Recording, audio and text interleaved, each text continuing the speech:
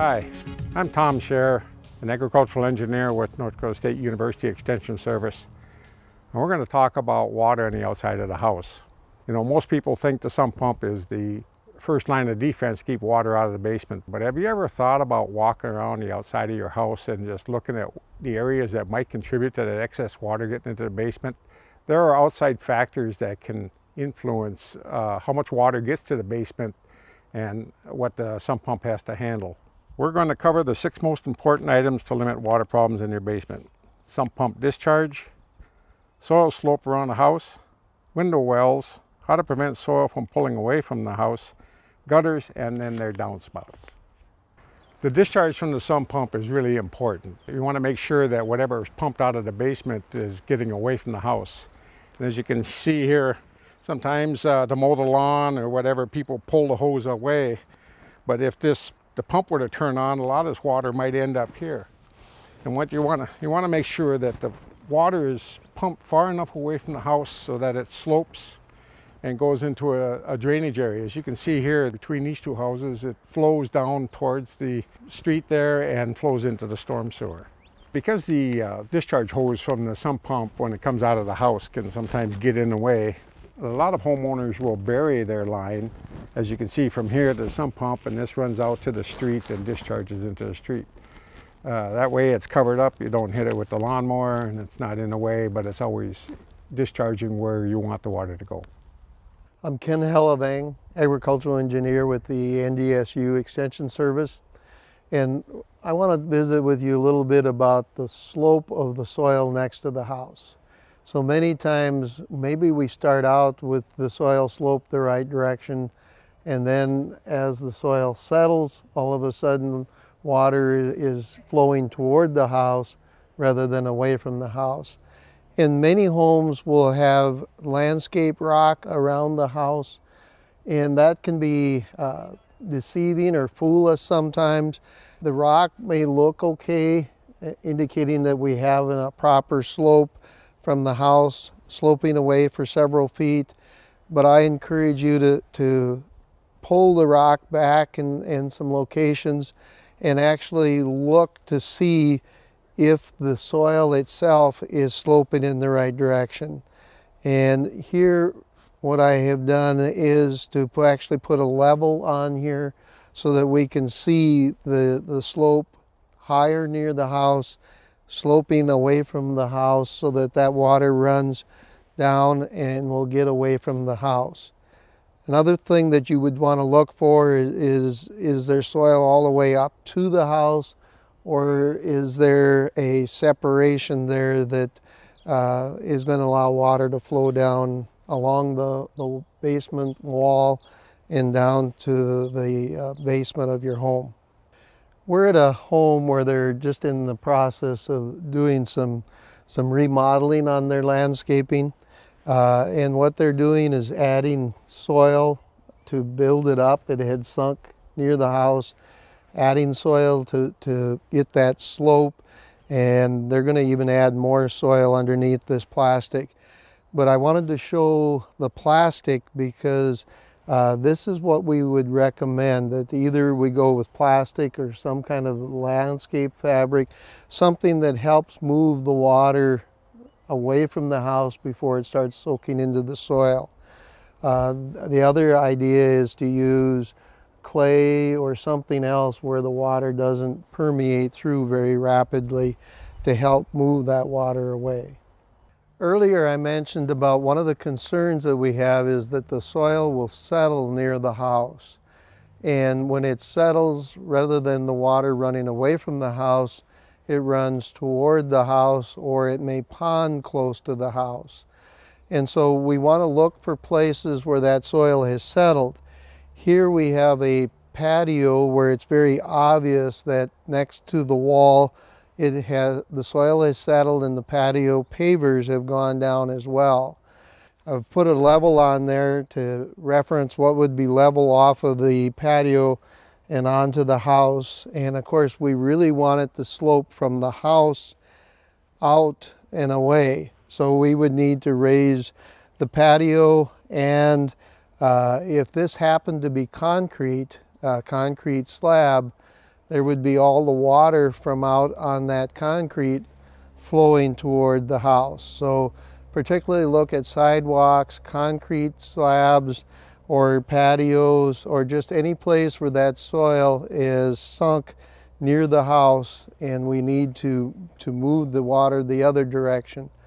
With a patio like this, we need to pick up the pavers and put it, bring in soil fill so that it will flow away from the house.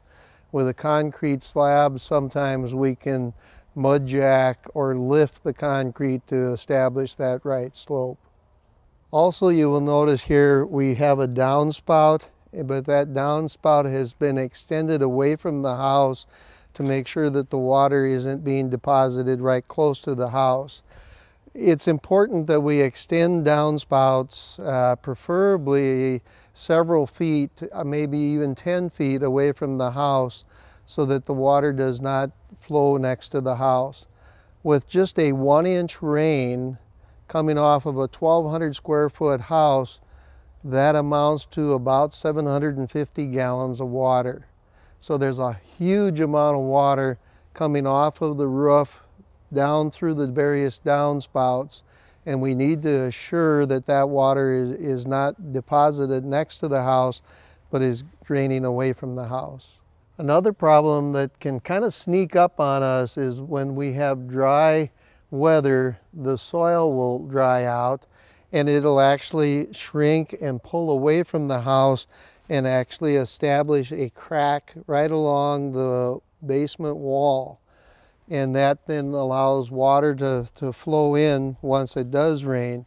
We frequently get questions about people wanting to fill that crack with soil and we discourage that because if we were to go packing soil in there when the soil gets wet and expands it's going to push on the wall of the basement and so even though it seems tempting to, to fill that crack with soil do not fill that crack with soil. What we recommend is that you try to maintain a uniform moisture in the soil uh, either running sprinklers or what I like to do is use a, a, sprinkler hose where I tip it upside down and just run it uh, a foot or two away from the house and run a little bit of water to keep that soil at a constant moisture to keep it moist so that we're not having that soil pulling away from the house.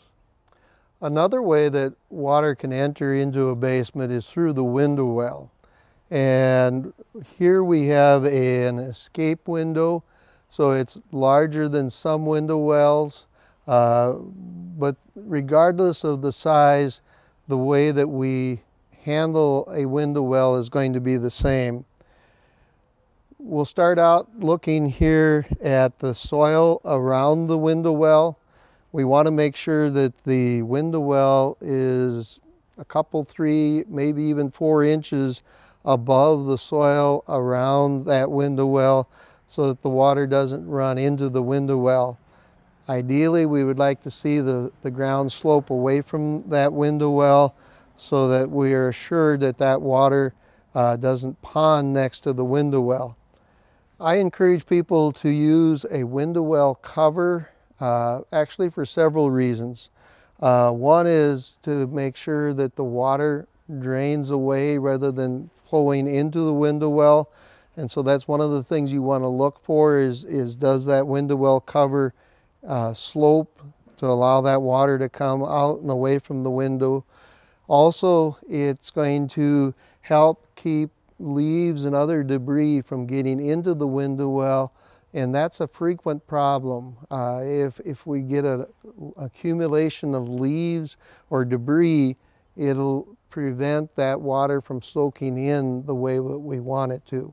There's several things that we need to consider actually in the window well. We want to make sure that the ground level is several inches below the bottom of that window. And then I also recommend putting rock or other very permeable material on top of that soil so that the water can easily soak through and get down to that, that soil. Ideally, we would also run a vertical column of rock down to the drainage system around the footing or foundation of the house.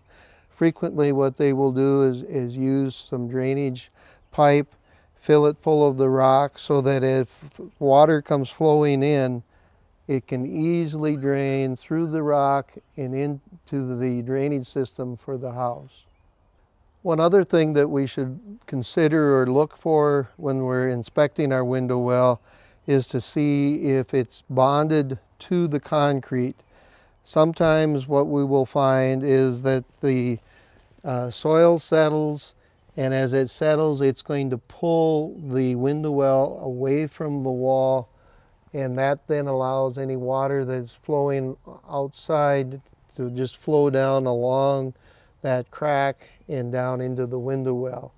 Uh, so in that case, we would need to either pull the soil away and uh, redo the window well, or uh, if it's a smaller crack, we can probably uh, do some kind of a sealer to assure that that water entry path is closed. The last thing we want to talk about that contributes water to the outside of the house is the downspouts and the gutters that feed them. We want to make sure that you remove the leaves and sediment in the fall and spring since they can plug the downspout and, and then water would overflow and, and dump all that water right next to the uh, foundation. Clear the downspouts if they're plugged. Uh, install leaf guards on the gutters there are many uh, home supply stores that carry a wide variety of covers that you can put on that will keep most of the leaves and the larger debris out.